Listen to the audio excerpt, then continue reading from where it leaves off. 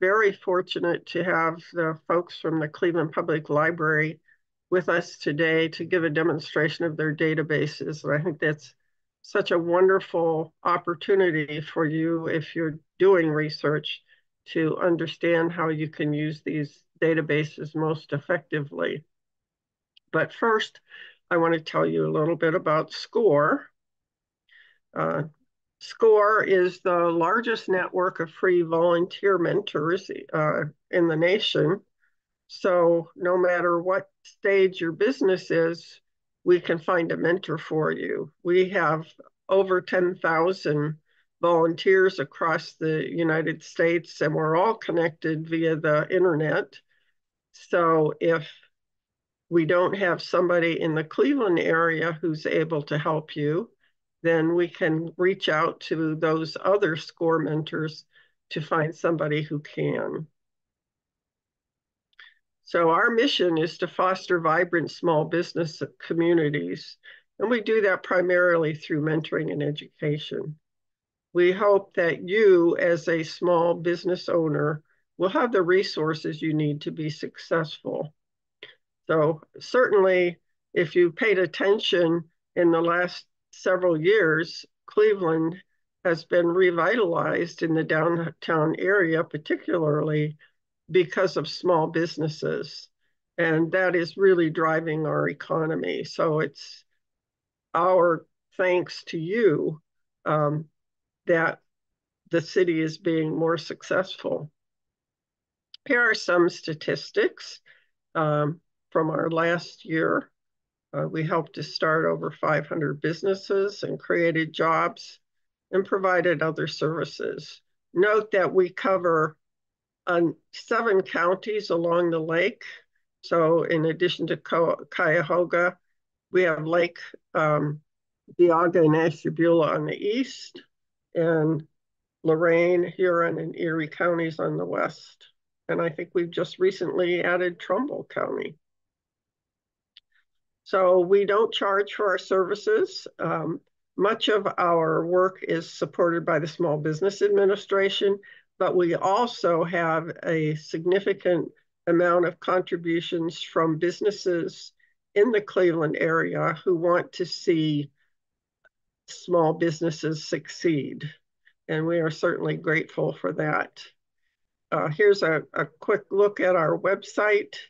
Um, if you notice, you can um, ask for a mentor. You can look at workshops coming up as well as recorded workshops. And there are probably a hundred recorded workshops on our website that might be useful to you.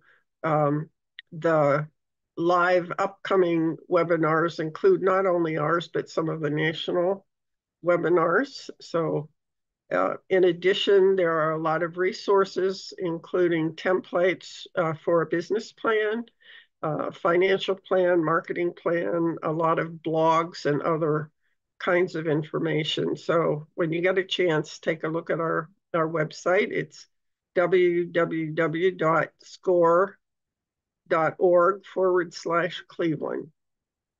So I'm going to stop share. Uh, and I'm going to let the folks at the CPL take over and do their fantastic presentation. So I'm going to shut up.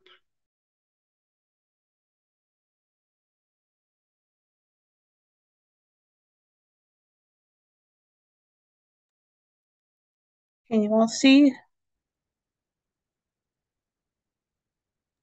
Yes, looks good. Good.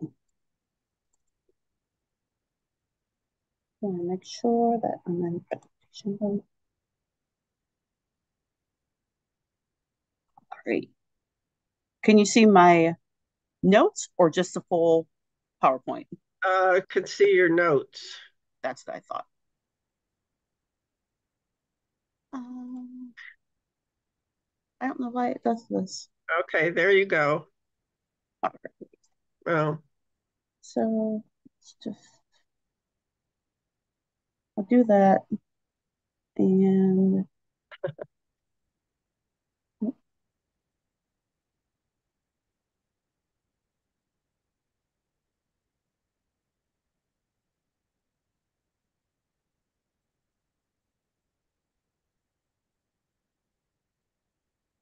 that's not what I planned on doing. This is, oh,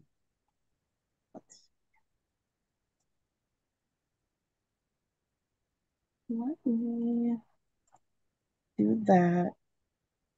And then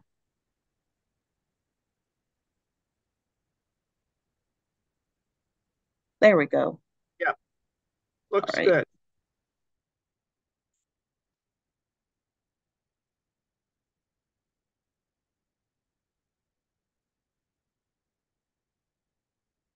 No.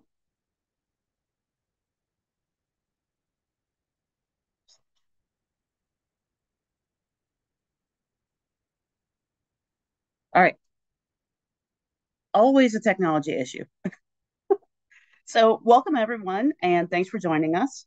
Um, a few things about us uh, that you might not have known. We're um, a very old and fairly large library. When they're all completed, we will have 27 branches. We're currently in a capital improvement project, so um, we have some opening and some closing. I know that Glenville will be closing soon and Brooklyn will be opening. So that's 27 with an asterisk. Our public administration library is in City Hall if you have not been in there. It actually is a depository for the City of Cleveland laws and regulations, including the really, really old ones on microfiche. And we are one of the top research institutions. Some say top three. I err on the side of caution and say top 10. Um, but you might not realize the kind of gem that you have here, there aren't a lot of public libraries that have the academic resources that we have here that you can still go in and check out books and just walk in as a regular member of the public. So that said, we have 150 databases with several online learning platforms um, that you normally have to pay for. And we are an official patent and trademark resource center. I'll get to that in just a moment. So why come into the library? Like I said, we are not your typical library. We are far more academic than we are neighborhood. Um, they do story time over in youth services, uh, but we don't. Uh, we were just talking earlier how Sandy and I would love to be paid to just sit and read, but we're not. Um, we do research, and we do research with uh, things that most people don't even realize. Um, I'm looking at some of my notes from a question. We had a patron who called who was looking for a specific type of a sodium chemical and he wanted manufacturers and I can only find international. And so that's the kind of um, stuff that we answer. Yeah, we have some really basic things, but um, a lot of times we do some really in-depth research. And everything that we do is free. Technically, you've already paid for it with your taxes, but no cost to you whatsoever, including all the things that you know you get from us. The only thing you might have to pay for is if you use our Tech Central and 3D print something. You can come in in person. We are more than happy to set up an appointment. Um, we can do like a Zoom or Teams meeting if you can't come in. You'll just have to make sure that we um, definitely set up a calendar uh, space for that. And we have some conference rooms here and physical space that you can rent. In fact, tonight, the Ohio Democratic National, no, the Ohio Democratic Party, I believe, is reserving the auditorium and the um, indoor reading garden to have this huge like kickoff party for something. So um, if it's after hours, you there is a, a charge for food and beverage, but if you need to meet with someone and you need a conference room with a a, a whiteboard, or we even have um, smart boards, you can go online. All of that is here, and you can use it.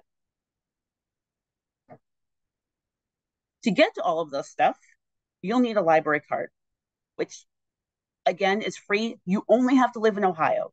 A lot of folks think you have to live in Cleveland, and that's very not true. Just in Ohio or work in Ohio. You can live somewhere else but work here. You can go to school here but live somewhere else, own property here. One of those things, we just have to be connected to the state. And you just go online where it says library cards, um, our website, cpl.org, It'll walk you through how to get one. You can get an e-card, which will get you access to all of our databases, the online books, those learning platforms I mentioned, but it won't let you check out books. So if you want to check something out, you'll have to actually come in and show your ID and prove you are who you are. If you have questions and you're online, you can click on this little Ask Us um, button, and I promise you it will not be a computer because it's one of us. We all take shifts, so we do answer the live reference questions. And if we can't answer it because you know it might be something in another department, we'll make sure that it gets to the right person.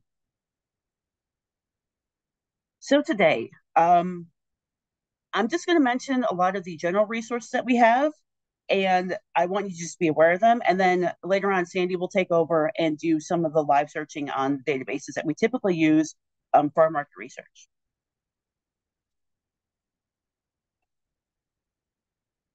This is one of my favorite go-tos for any type of forms. Gale Legal Forms is a, one of those databases that most, I'd say a lot of businesses don't know that we have, but it is meant for businesses, not just law stuff. Um, one example of the many, many that we have here, you can see the small business startup package. And yeah, you'll find the typical things like um, the LLC operating agreement, NDAs, but you'll also see the um, check request form and job invoice form. So you'll find a lot of samples that you can get, and everything comes in a downloadable Word document. As soon as you download it, it's yours. You don't have to log in, you don't have to have your card or anything. As soon as you save that to your computer, you can do with it whatever you want. Um, now, they do have even more on here so some of them do have PDFs, some of them have samples or examples that they've done. And when you click on each, you can click on either the title of it and it'll take you to the main page, or you can click on where it says MS Word and it'll just download the file right there. If you'd like to see the examples, I would suggest click on the main page to see if there is an example that's already filled out. But these are all legal in Ohio. Um, if you are operating in another state, you might have to find another library in another state that has Gale um, but we have the Ohio uh, version.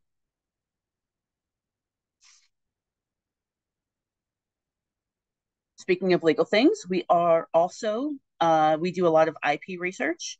And I realize that most small business owners don't have patents, even though that's really, you know, what we focus on when we say intellectual property. It's almost always, you know, patent, patent, patent. But it's more than just that. We know that there are trademarks and uh, trade secrets, although we ask you, please don't tell us your trade secrets. Don't tell us your patent idea either. Uh, there's, I know the idea of like, hello, the librarian is great and they'll be, you know, good and they won't do anything and they won't tell anyone. I understand that, but you can't disclose your information. Um, and if you start to, I will be kind of mean and say, stop. I don't want to know. I'm not trying to, you know, be the bad guy, but I just don't want you to get in trouble for disclosing your information. Um, so what we do is we kind of expand on the legal series that SCORE has already put out. They've got the intellectual property and the nuts and bolts of patents. If you've not seen them, I really encourage you to go online. You can just register for them for free, and then you'll have access to the YouTube videos.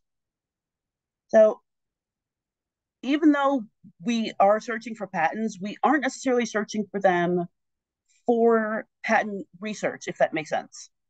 We typically, or we often do small business research as well. So one of my favorite examples um, were we had a couple who came in. They were absolutely adorable. Um, I think he was 91 or 92 and she was 89 or 90. And they were still running this business doing everything, all of the um, the paperwork and invoices, and it was not a small industry or small business rather. So they owned a specialized heater, and it looked like it was like a tunnel system, and it was there were two benefits for it. One was to help revive people who had been basically frozen to death who were climbing mountains in Canada and the other one was to cure paint.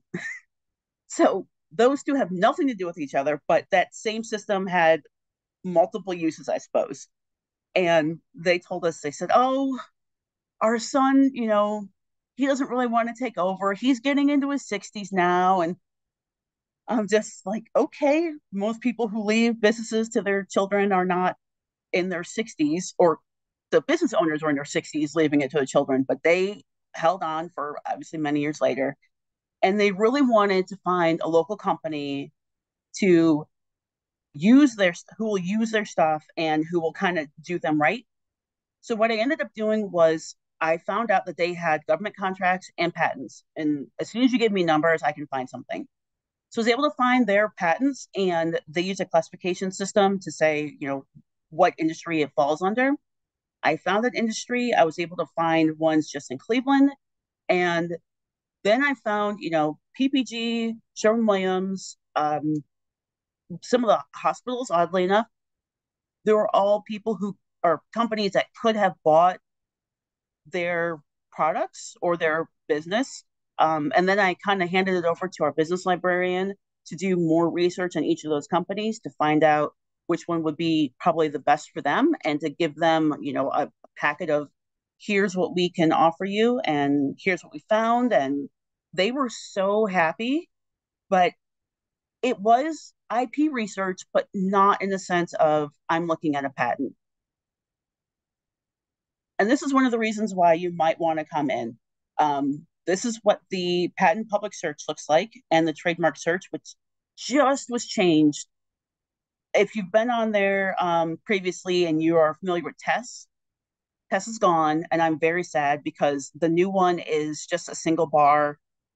And if you put it on expert mode, um, you just get a couple more options. It, it doesn't do, you can't do Boolean searching, you can't do any of the um, structured search like you could before. Everything is going to Google. Um, but we can still find things. The Patents, on the other end, has actually been far more enhanced. Um, it used to be that you'd have to go to DC to do patent searching, or you can come into one of the PTRCs. And we had a three password system, and one of the passwords was a fob, and it had a number that changed every 60 seconds. So it was very secure for public information, and I don't know why. Um, but now it's online, and unless you knew how to use those systems before, PubEAST and PubWEST, you won't know how to use this. It's not intuitive. It is not easy to find just the help documents that you need. I know it says help on there, but unless you know what it is you're looking for, you you probably won't understand it. And when you come in and you talk to us, we have been trained. I think, well, one of our librarians was a fellow at the patent office. I've gone there no, two or three times. Um, and when I say training, I mean a whole week of nonstop, all day, working lunches, business dinners, training, where we listen to people talk, we do exercises, we just do searching for a solid week. And I jokingly call it the brain melting session because by the time you're done, you're just like overwhelmed. But it's really, really intense. And we have learned a lot, so much so that we end up teaching this for um, law students. So in about a month, I'm going to be over at Case Western Law School teaching them, their um, intellectual property students, how to do advanced patent, patent searching. So if you come in, we can definitely help you. Um, if you are looking for a patent and you have something that you want to um, register, we can help you with that. Uh, the other benefit is if you come to us first, we can show you how to search. And then if you find that it's something that's viable, then you can go to an attorney. But if you don't, if you find out that you can't patent whatever it is, or your trademark is already taken, or you know it's just not quite what you wanted it to be, you wouldn't have spent the money on an attorney telling you that. You would have just done it yourself. So we always encourage everyone to go speak to a professional. But if you can do just a little bit on your own beforehand, um, that will definitely save you some time and money.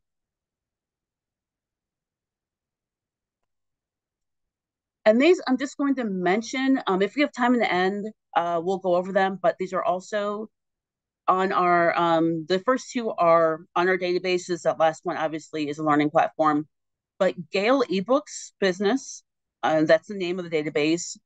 On there are the business plan handbooks and they go up to, I can't remember what volume, but we have them also in print here at the library if you'd like to look at them. And they have business plans for very specific industries, um, things that I probably wouldn't have thought of. I actually found a business plan for a hot dog cart. so they and they're very comprehensive. They go over market research, they go over financial data.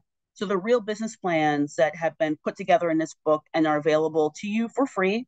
You could download them. Um, they're PDFs, but if you're looking for something as an example or just where to start, um, this is a great place.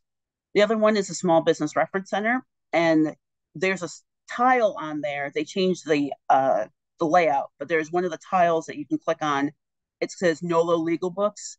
Those are this. These are the ebooks. We have a lot of them in print, but NOLO is a publisher that has a lot of great books about law for everyday people. So if you need to form an LLC, if you need to um, figure out, you know, general real estate purchases, or they even have ones for like marriage, divorce, landlord tenant. Um, but there's a lot of them that are small business specific on that database, and there are more there than we have in print. So if you're looking for something that's a, you know an ebook and you just a topic that you weren't quite sure about, you can go on there and find it.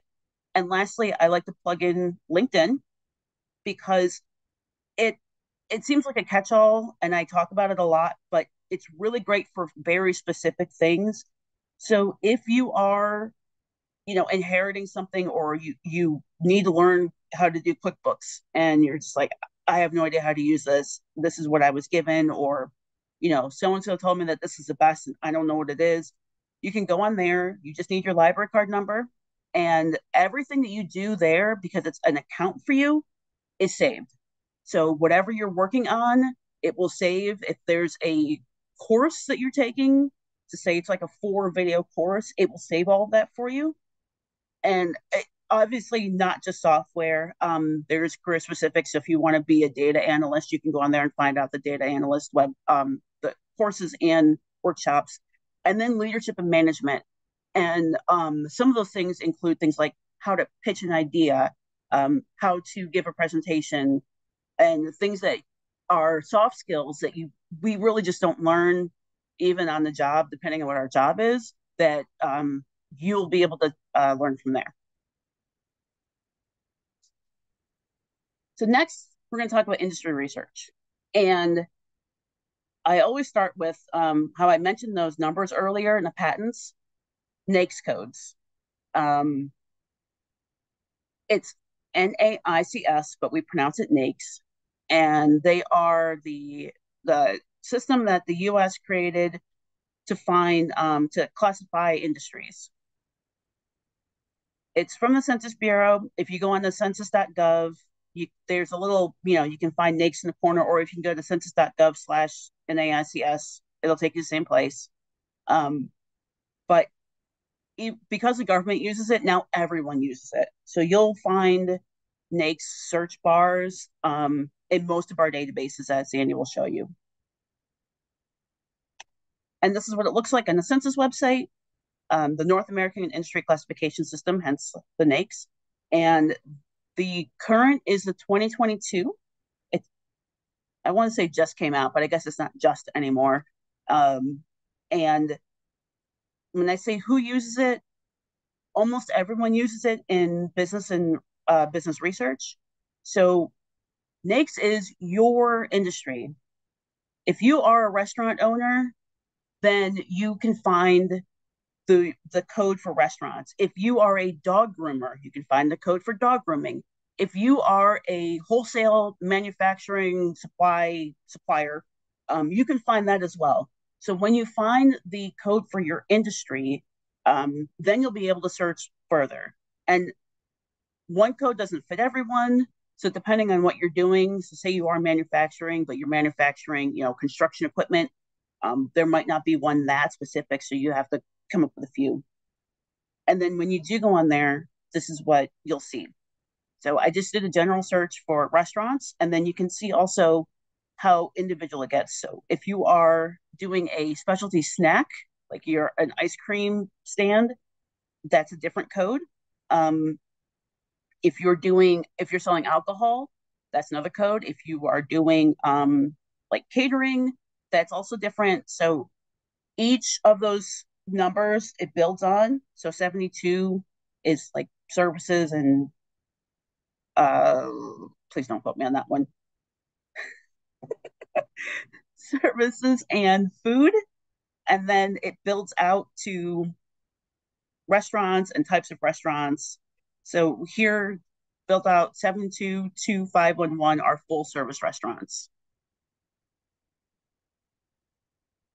So what can you find with our databases? Once you have that NAICS code that talks about the industry that you're going to be in, you can plug that into our databases to find more. Um, and Sandy will go over some of them. You can find demographic data.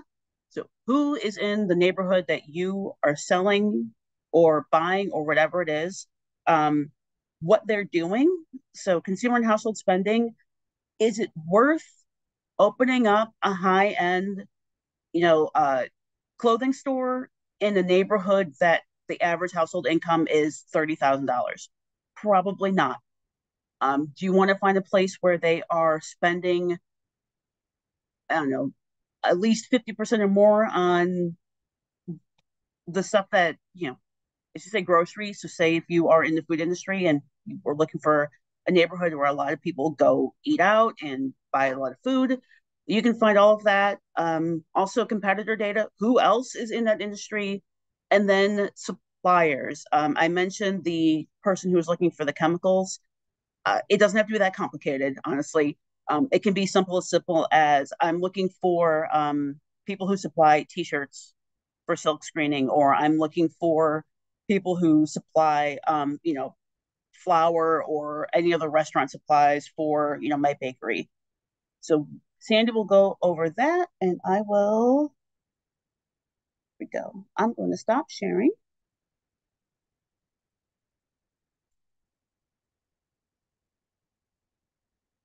And Okay, and I guess I will start sharing.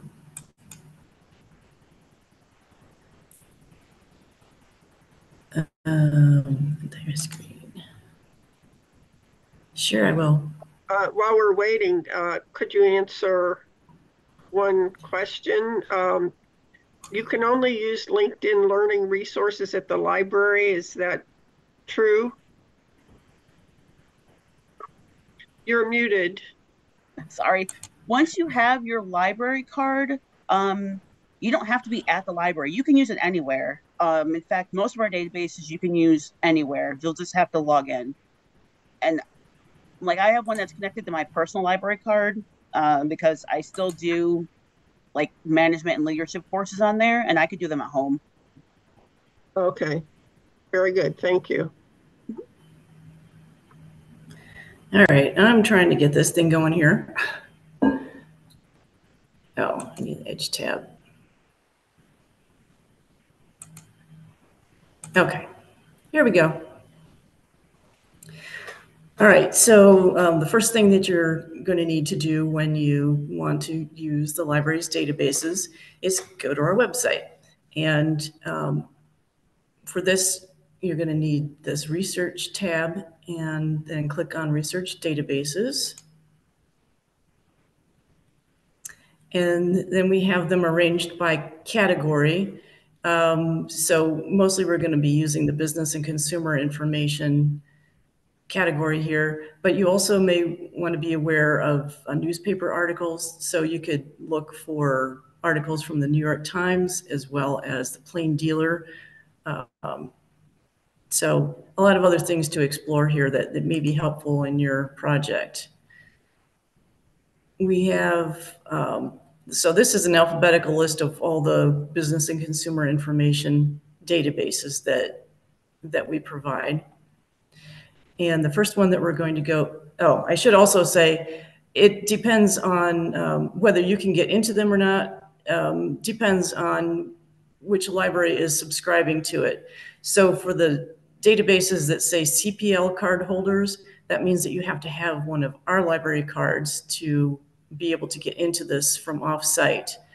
Um, a lot of the databases on here, though, uh, don't say anything specifically. So that means that if you have any CleveNet card, you can get in from offsite.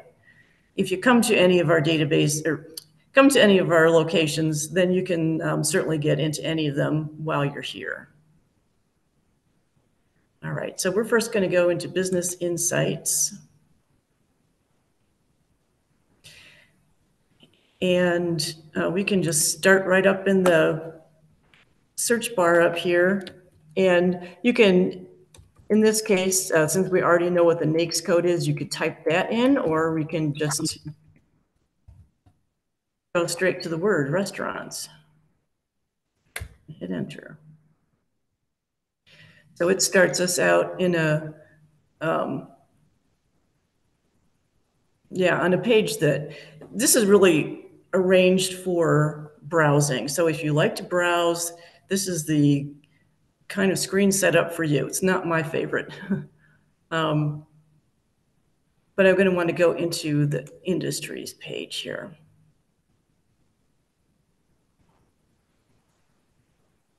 So again, we have, um, there are actually a number of different categories for restaurants under the NAICS codes, but we're following the full service restaurants, so we're going to go into that.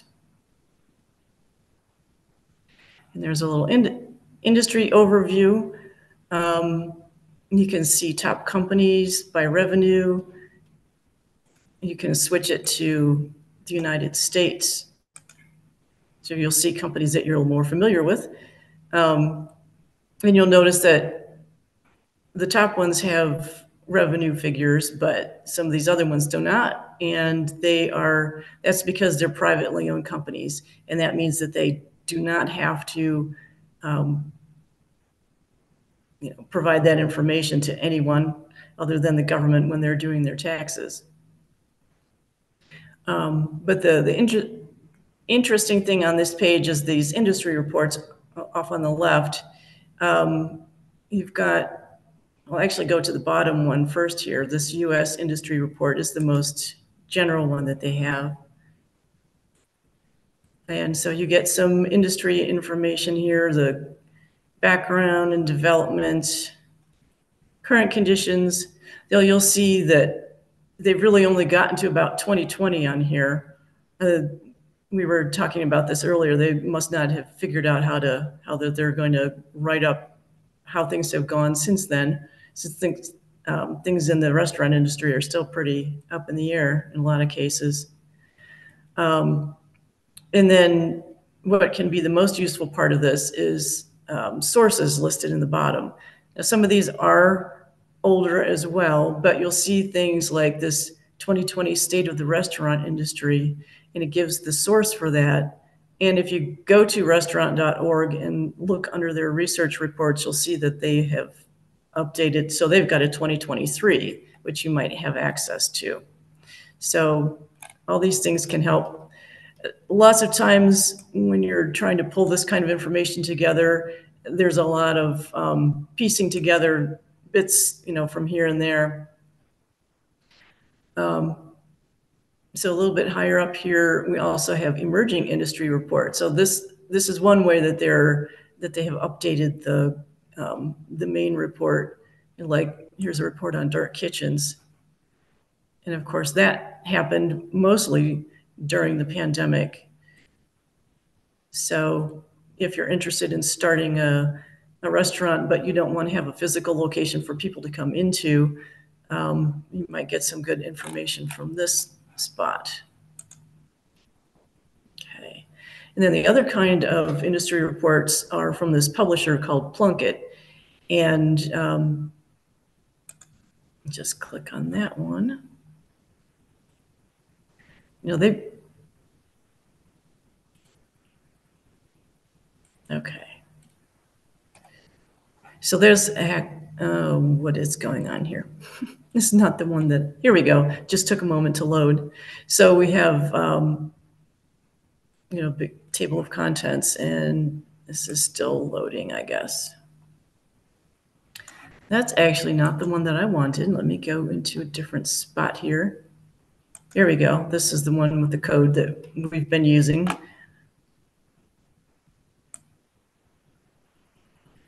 Okay, so this one has 74 pages and it goes into a lot more detail than, um, than the other industry reports.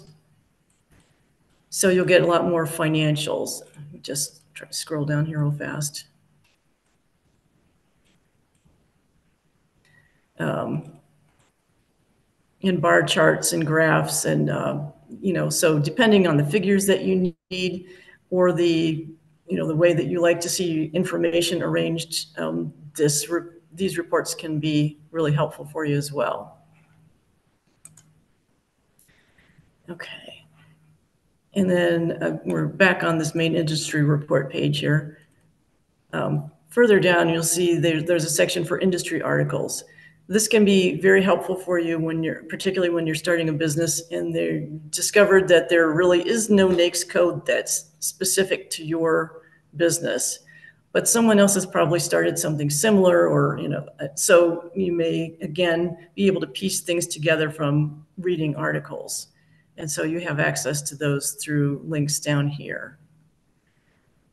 Um, Obviously, there's a lot more going on in this database um, than we have time to go into today. Uh, One thing I did want to point out, though, is that this database um, indexes the Crain's Cleveland business articles. Um, So it, so it doesn't take you right to their website, but you can get the full text of their articles. I think there's, there's either a one or two week delay in the, when the articles actually show up here.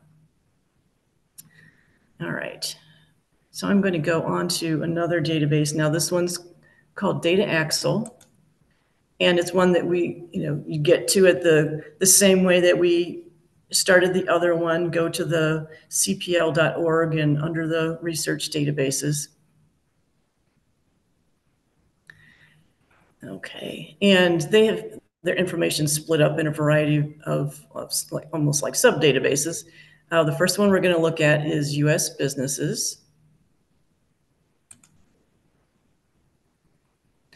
And sometimes it can be helpful if you're trying to find, um, figure out which category is, is or NAICS code will, yeah, be good for you. Um, if you know another business that's that's already out there, um, you can kind of cheat and go straight to their listing and see what they've what they're using. I'm just going to use an example of Mabel's Barbecue. Can you refresh the page maybe? I'm still seeing Gale. I don't know if anyone else is. Yes, yes. Yeah, Oh, okay. I don't know if you have to stop sharing and reshare. oh.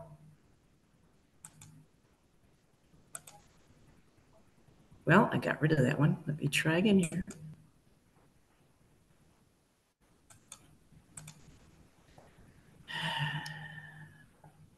Technology is not our friend today. No, it is not. I blame the weather.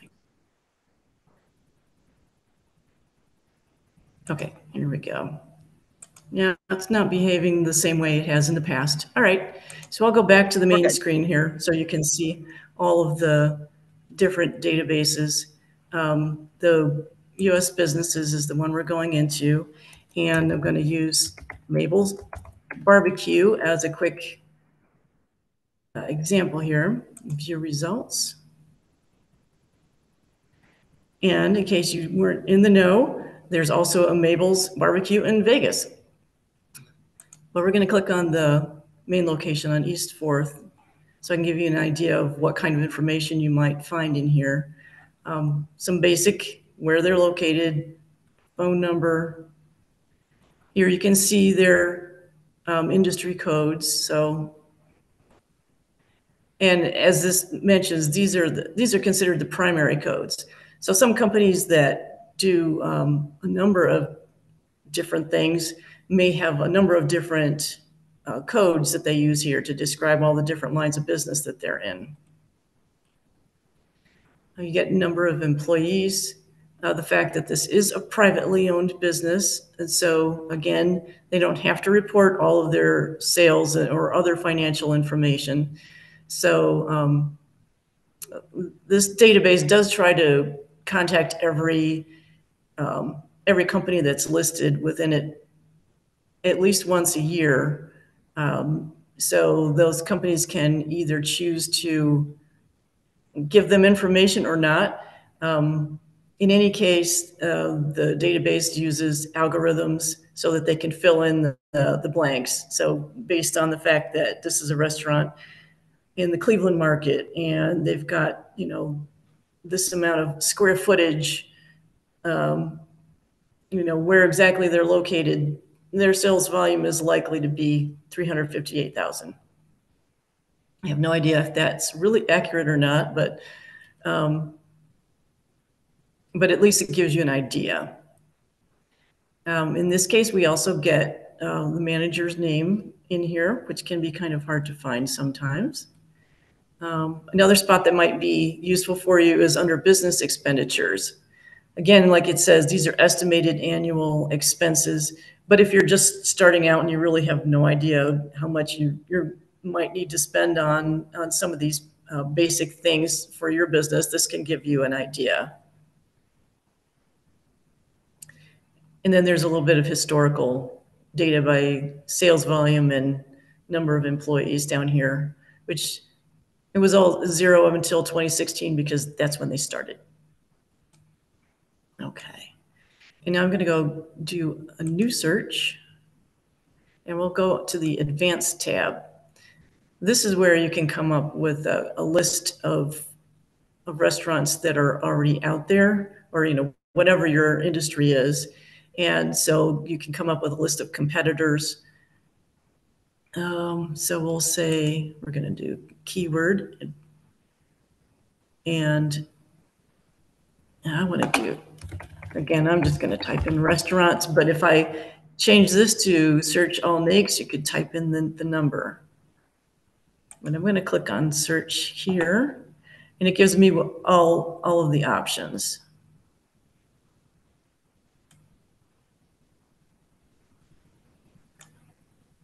So whichever one you want to select, you click on it and it puts it down in the selected box. It's a little bit hard to see here, but this database is interesting too because you have to scroll down a ways, but it gives you a list of related matches. So you can even limit it down to what type of restaurant, um, a steakhouse, German restaurant, a Jamaican, um, and even further down, you've got some some brand names. Um, I can think of easier ways to look for those locations, but um, so we're just going to go with general restaurants there, even though that code is not, that's a, it's a different kind of coding system. But I also want to limit it to Cleveland, Ohio. So I'm going to go over here under geography and click on city and state. And so that gave me search boxes back over here, so type in Cleveland and say go. And this is where I get to see just how many Clevelands there are out there in other states. Uh, again, I clicked on the result and it put it in the selected box. And I can come over here on the right and click on update count and that just gives you, if you're just looking to see how many restaurants there are in Cleveland, there's your answer right there. But if you'd like to see the list, you can view results. And this is just going to be an alphabetical list. Um, there are 53 pages, um, 1,325 restaurants with, you know, using this same code. Um, again, you get the same kind of information that you did for Mabel's Barbecue if you click on, on any of these. Uh, if you'd like to get a sense of where all they're located visually, you can click on heat map. This is kind of cool. Um, and you can uh, generate the heat map for by location or sales volume or number of employees, but I think location is probably the most useful in this case. And then you just keep on zooming in to see where where are all of these restaurants.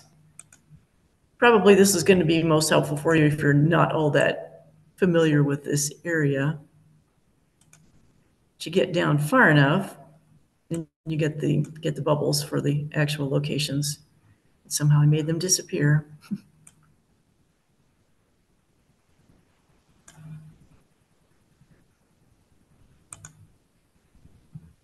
So depending on your search, that can be useful.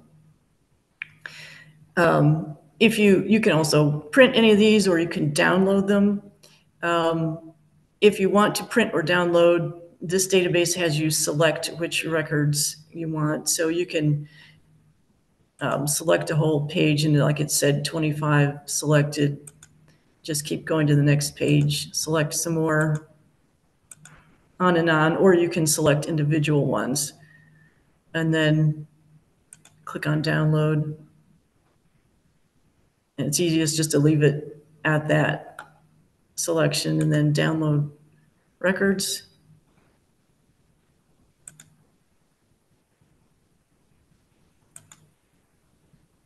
Anyway, it basically puts it into a, an Excel file, which is going to take a moment to pull up here.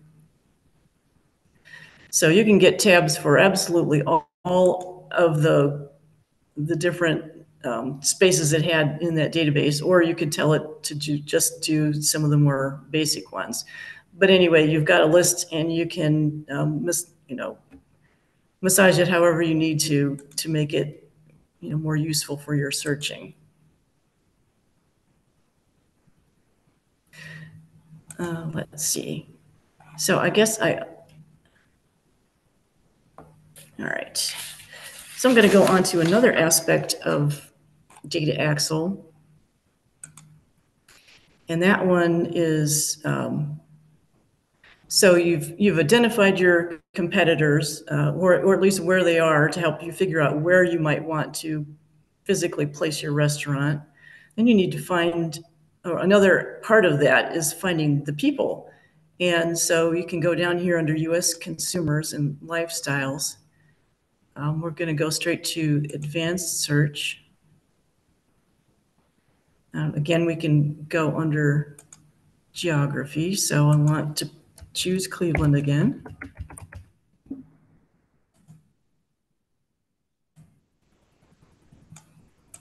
Okay, it's then the selected. And they keep adding interesting things here. Here's a whole section for automobiles now so basically, you know, it's kind of fun to look up, look yourself up on here to see what car they have. They're usually a, a car or two behind, so I'm not sure where they're getting that information, but maybe that will be uh, more useful in future.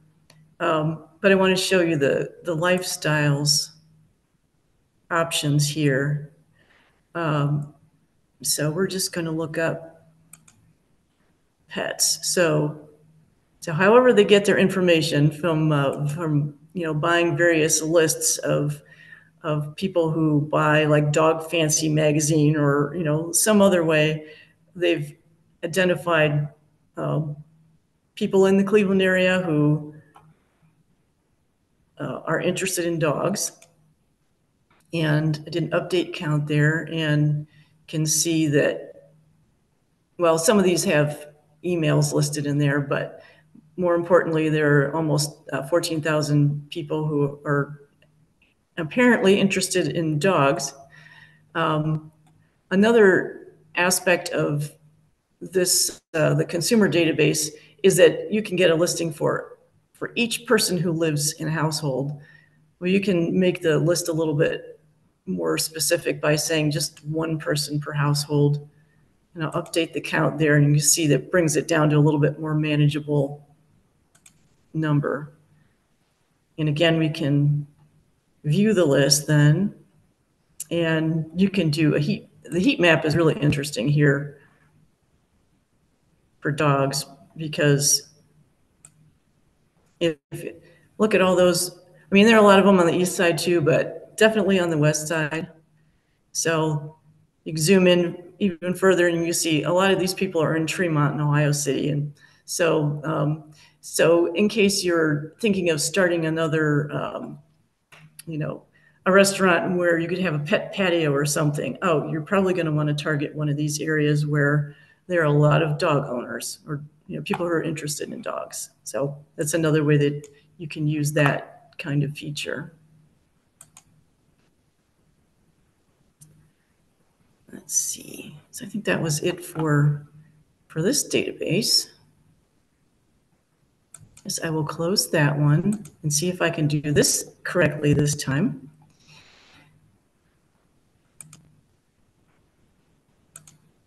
And here we go. Okay, now that I'm on my last one, I've got it figured out. Um, so this other database, again, get to it for the same way as the others. Uh, this one's called Mergent Intellect, and it has very similar information uh, as does Data Axle.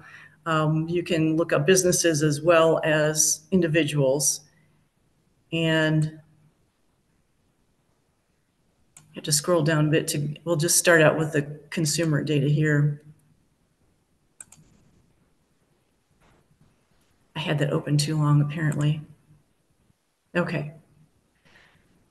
So, and we'll go into advanced search. If, if for any reason you need to look up somebody's phone number that still has a, a listed landline, you can use either Data Axle or this one. Um, just pop their name in here.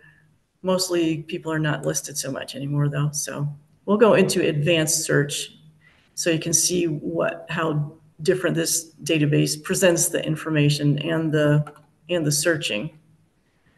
Um, so we'll go by state, click on Ohio, and then you have to say add to criteria. And again, we want to limit it to Cleveland. So we type that in.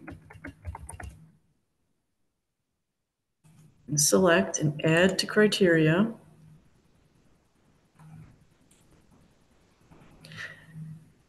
And down here to lifestyle, here, now they've got their pet lover uh, information arranged a little bit differently. So I'm just going to say dog owner here. Obviously, there are a lot of other choices, uh, but then we add to criteria again. And our results of how many were found are down here at the bottom.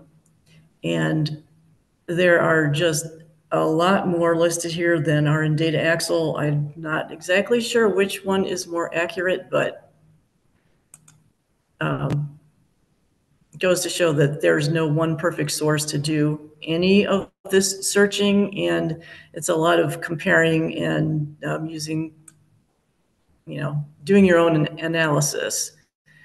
Um, so you can search in a variety of ways here there, you know, you can see different age groups over here. Um, so apparently, people who are over 60 are the, the biggest, um, you know, own the most dogs in the area. So, and you can also print or download from this database as well.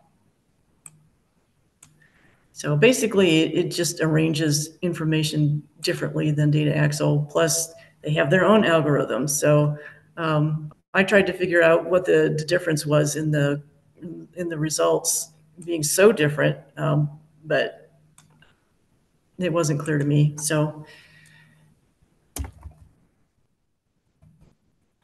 we'll go. Oops, and we'll. I'm going to go into another business search to show you that angle, how that's different from Data Axle as well. We'll go, here's Mabel's.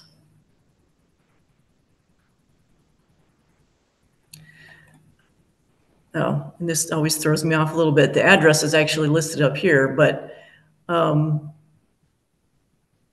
I think that 900 Literary Road is probably where Lola or Lolita's used to be not actually Mabel's barbecue. Um, so I'm not sure what's going on with that, but that's again another reason that you want to to uh, check multiple sources to you know nail down some some details. Um, but it's overall basically the same kind of information that you get from Data Axle. They just like to use more charts on this one. So, but if we go into advanced search, again, this is where you can um, create a list. So we'll go under location again. Select Ohio, add to criteria. Just have to remind myself to do that.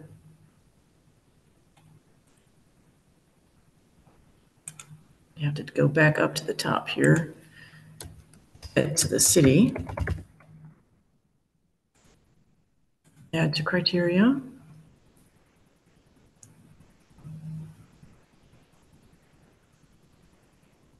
And industry, the most important part here.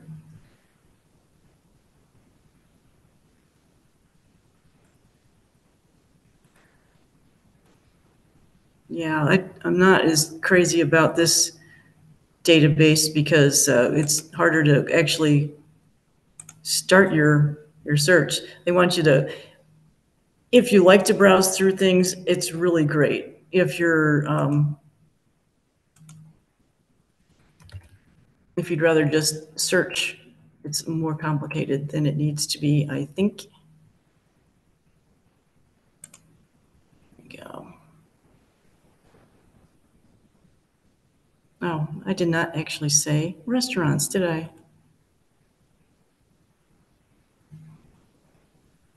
Let me go back here. Okay.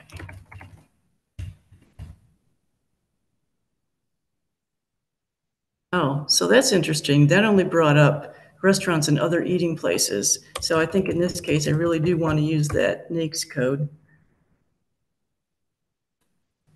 which is seven something, seven two two five one one. There we go, full service restaurants. So again, depending on the database, some things are easier than others. Um, so add that to the criteria. So you can see the criteria down here, make sure that you've gotten everything and search.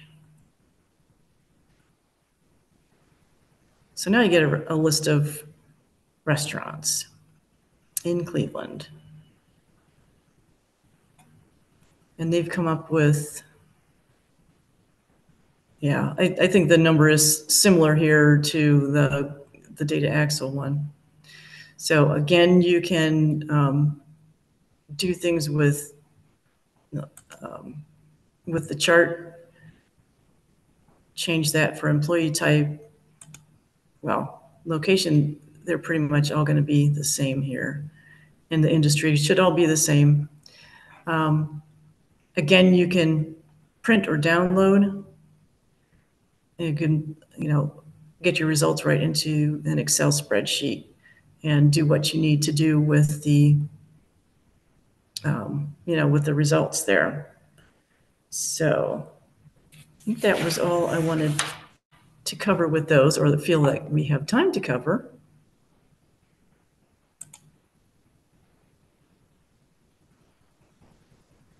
And I'm done, done sharing. um, yeah, so if we still have time, did you want to go over any of the other? Well, it is one o'clock, so Okay, taking up most of our time. I Uh, did see a question um, about patent and trademark search. Mhm. So you can email us. Um, actually, I thought I had a screen. I do have a thank you screen. I'm going to share that one really quick. Oh, Sandy, you have to stop sharing your screen. oh. Did it actually stop? No. Oh, there we go. Okay. Okay, so- So Okay. let me share.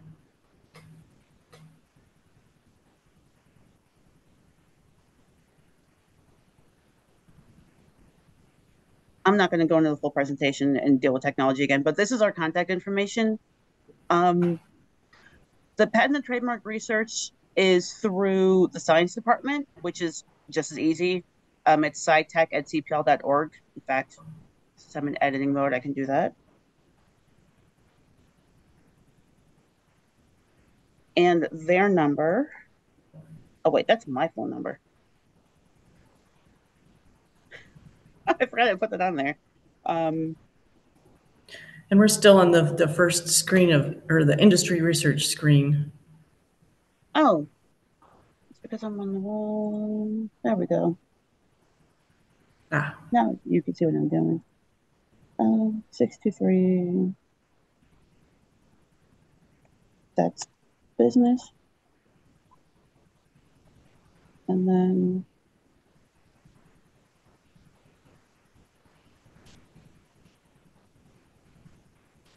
So you can email me, you can email um, the business department, the science department, um, and my email is first name dot last name. Put that also on here.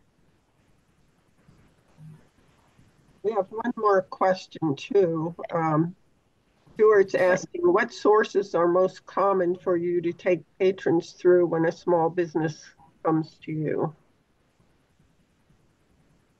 The ones that we just covered. I mean, it, it definitely depends on what their question is. Sometimes people come in and they want to do everything all at once, and so we cover as much as we can. Um, other times they're interested in a specific aspect of, you know, of, of the whole project, and so we focus on that. Um, so the ones that we showed you today, uh, we use very frequently when people are trying to identify competitors or help figure out what's the best location for their, if it's a service uh, business, um, you know, that kind of thing. But it's also a lot easier for us to help when uh, we have one individual that we're talking to because today we had to sort of guess at what everybody is interested in and, and make it pretty general. Um, but if you come in or, or call us, we can help, um, you know, with your specific needs. Fantastic. So as I mentioned, uh, we're live streaming on our YouTube channel and everybody who has attended will get a link to that recording, uh, probably tomorrow. Um, and so you can rewatch it as many times as you want. It will be on our website also within the next week. So I can only thank you both for doing this again. It's such a wonderful resource for our clients. And uh, the more they understand what kind of information they can get, the better research they can do before getting their business started and probably avoid a lot of pitfalls. So All for free. We like that Yeah. word, free. They're free.